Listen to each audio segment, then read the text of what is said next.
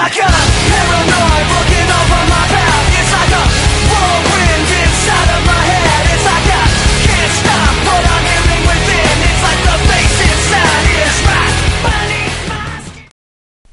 Hey guys, how's it going today? Caleb29 here, bringing another Wi-Fi battle. I'm really glad to be back on the weekends, and I probably haven't uploaded in like two or three weekends, and uh, it's really cool to be seeing me back on Saturday or Sundays.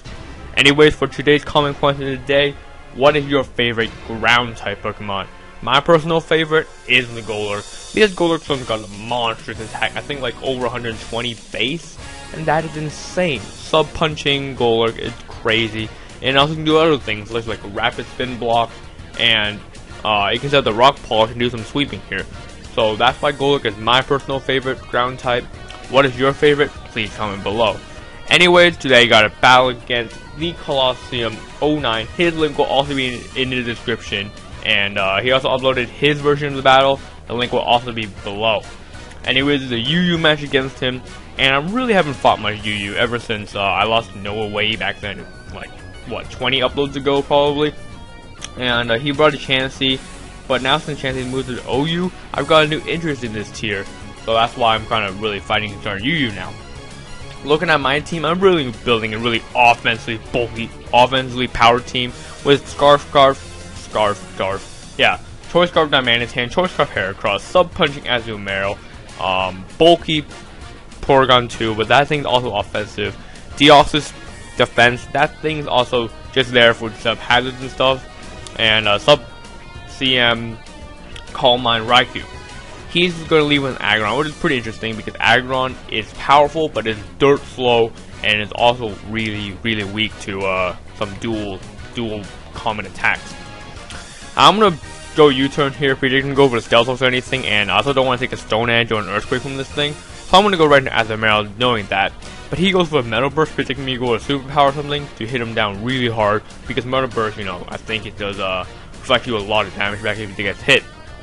Anyways, he's going to be able to trace my huge power with the Porygon 2, and that's really unfortunate because he plays his Porygon 2 this entire match really nicely and uses my uh, abilities to his advantage.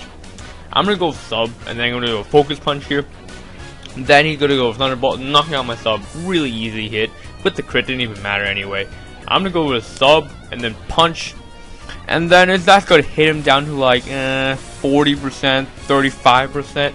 And that does a jackload to Porygon 2. Most Porygon 2, most of all, like mine, are defensive ducks and they are crazy defensive. That Focus Punch did so much. I'm bringing my own Porygon 2. This is actually an analytic Porygon 2 with zero speed and zero IVs in speed. And uh, it's 252 HP, 252 special attack and modest nature and, and analytic basically powers up your moves by 30% if you move second. So that is great for me. I'm gonna go with the ice beam here after I go for the Tri Attack on the Porygon 2, knowing that it'll switch into a Sableye most likely. So I'm gonna go for it. Then he's gonna go for recover. As I'm gonna go for another ice beam. I really don't fear this thing at all. He's mostly gonna have Will-O-Wisp, Taunt, recover, and all that stuff. But I have three attacks and recover, and looking so far, he probably has Nightshade, so Nightshade's not gonna do anything to me, so I'm totally safe. He's gonna switch out here knowing that he can't do anything to me right now, and he's had to bring his Ampharos. This Ampharos proved to be the most annoying Pokemon in this team. It was so freaking annoying, and you guys will see why. I'm gonna keep on Ice Beams here, but then I'm gonna decide to switch out into my Heracross, knowing that Ampharoses are most likely especially defensive. So, but then he goes with a Cotton Guard, which gives him times 3 plus 3 defense, and that is insane. Insane. Look at that. I go for the close combat does not do anything. I think close combat Mega Horn, same thing. But it doesn't even do anything to a plus 3 Ampharos, and he gets the Parastatic Hacks on me, which is really unfortunate, and now I'm really stuck in a hole. He's gonna go for a second charge beam here. He's gonna hit, get the special attack increase, and that is really, really blowing me off because I don't know how to deal with this thing. He can go for charge here, which is also a really nice move on him because it increases his special defense, and now he has plus one special defense, I think plus two special attack, and then plus three defense. That is crazy. Look at that. That Tri Attack for me, analytic boosted Tri Attack from modest Porygon 2 is not doing that much anyway. He gets the plus three with the special, Uh, no, sorry, plus two with special defense with a charge to go for another one. And here you see, this is not doing anything at all. The only disadvantage, Ampharos, however, it does not have a recovery move. And that's kind of why it's NU and stuff. But anyways, he's gonna keep more charge beams here. It's doing more and more damage to me because of course he's gaining special attack every turn.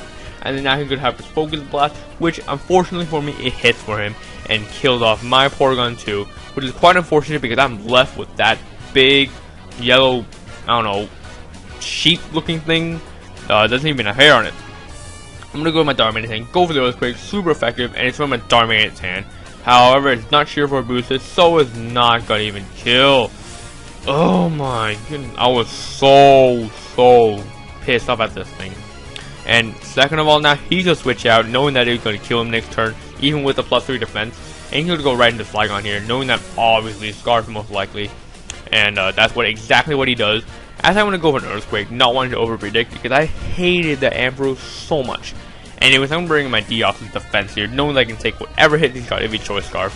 But he goes for the Hone Claws, which shows me he's most likely going to carry um, that, and then he could go for Hone Claws on me, knowing that uh, I'm probably going to status him or something. But I'm going to go for a taunt after a second Hone Claws, forcing him to attack on me, and uh, he probably does not want to waste his plus 2 attack anyway. He's going to go for a plus 2 Dragon Claw, and remember, the Deoxys defense does not have any defensive EVs at all. This is fully invested in speed and HP. It doesn't even do half. That just shows the bulkiness of Deoxys defense. That is crazy.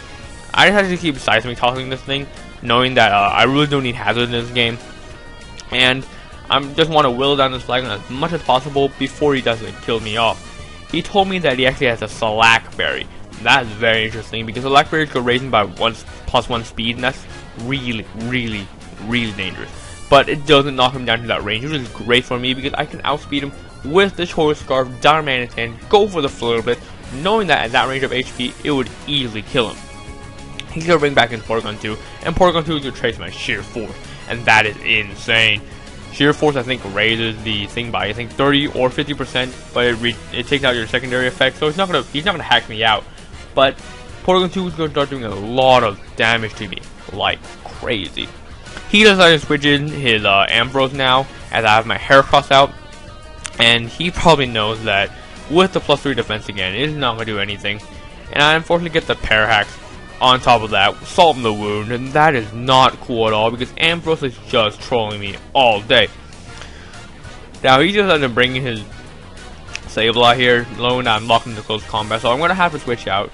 And I'm going to go into my Darmanitan, knowing that I can hit anything on his team on a Choice Scarf Flare, he's to do a Jackload to whatever he's got. He's gonna bring. He's gonna go for the Nightshade, knowing that I'm obviously switched. But uh, I do live with 53 HP. Go for the Flare Blitz as he brings in Ampharos as Death Fodder, and finally this thing is out of here. Get that thing out of here. I was so happy, so happy that thing was gone. And I, on top of that, even live with 10 HP, which is awesome because he doesn't have Hazard up, and that means I can switch out, go back in some later time, and hit something extremely hard. He's going to go into Porygon 2 as I go right into my Heracross here. I want to go for the close combat. I know this uh, Porygon 2 is not going to kill me in one hit. He's going to go for a T-Bolt here.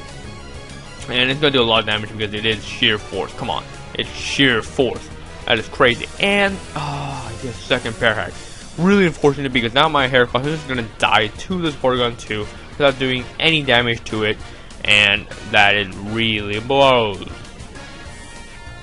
Now, uh, after all the after turn effects here, I'm going to have to bring in my Raikou, knowing that uh, I can do some damage to this thing. So I'm going to go for the Calm Mind as he goes for Thunder Wave, which really, really blows, because now I can't uh, finish sweep him. I can't sweep him, and this Porygon 2 is just going to keep on trolling me like a beast because it is sheer force. Come on, sheer force is crazy. Now that I have the plus one attack, I'm to go for the substitute now, knowing that it'll probably switch from here. As he does go design and save a lot. Slayla's not to do anything to me, even if he goes with Taunt, and uh, I probably knew that he would go for it, but anyways, I really didn't need the second Calm Mind anyway. So I'm to go for the Thunderbolt, and he's to do a Jack Load to the Sableye, and I'm not sure if it's to kill or not, but uh, yeah, it does. He's to bring his Claydol here, go for the Earth Power, easily to take out my sub, and I'm just to go for HP Ice here, why not? There's really no reason leaving Raikou here. Raikou is paralyzed, Raikou's basically useless from here. Gotta go for the HP Ice, and it does just around half. Uh, after all those HP bar goes down and stuff, he's gonna go for another Earth Power, and with me having, I think, plus two, um, I'm gonna live with pretty decent amount of HP. He doesn't even do half to me, even if I have the previous damage on it already. But I'm just gonna kill off with a second HP Ice, and that is great for me because I just killed off a Pokemon with a paralyzed Raikou. That's awesome. He's gonna bring his Aggron here, and I make a really derpy play by uh, after he goes with the Stone Edge here. He does miss, but it doesn't really matter in the end because I'm gonna go for HP Ice instead of Thunderbolt, thinking that Aggron is part ground, but in reality it's only Steel Rock type actually. So the Thunderbolt would have definitely done a lot more, and it wouldn't have been resisted. So really dirty play on my part. He goes for uh, some kind of move. I think the Earthquake most likely. Uh, they should just lagged up me again. Anyways, I'm gonna bring in my beast, Azumarill. Just gonna go for a substitute here because I think this Aggron does not want to do anything to me. It's definitely gonna hurt him a lot. So I'm gonna go for it. But then he goes for the Metal Burst for some really odd reason. I do not know why. Uh, he already knew the Metal Burst wouldn't do a lot anyway, and his Thunder Punch would easily take me down by a lot of HP anyway. He does decide to go for Thunder Punch to knock out my sub, as I do set up a Focus Punch in his face. Gonna go for it. He does not have the 30 if he does have it, and uh, that is a dead Aggron. Aggron takes gets destroyed by Focus Punch. Now he's gonna bring back his Porygon Z, uh, Porygon 2, and that's really unfortunate because I'm going to have to go for Waterfall there, hoping that he won't recover. Because my last Pokemon is Darmanitan. If Darmanitan doesn't kill with a superpower, I'm pretty much screwed against this Porygon 2. I do live one Thunderbolt, which is great for me because I do carry max HP as all Azumarill do anyway. Gonna go for a Waterfall, and then he's gonna kill me with a second Thunderbolt, and that is great because he didn't go for Recover. Now it is down to his last Pokemon. I'm down to my last Pokemon, Darmanitan, Scarf, easily gonna kill. I live with 10 HP, and that means I win by a very, very small amount. That is a great battle, the Colosseum 9, and um, please remember to answer the comment question today, leave a like on this video, and please subscribe for more of these videos here. Until then, it's Kaz129 here, saying peace.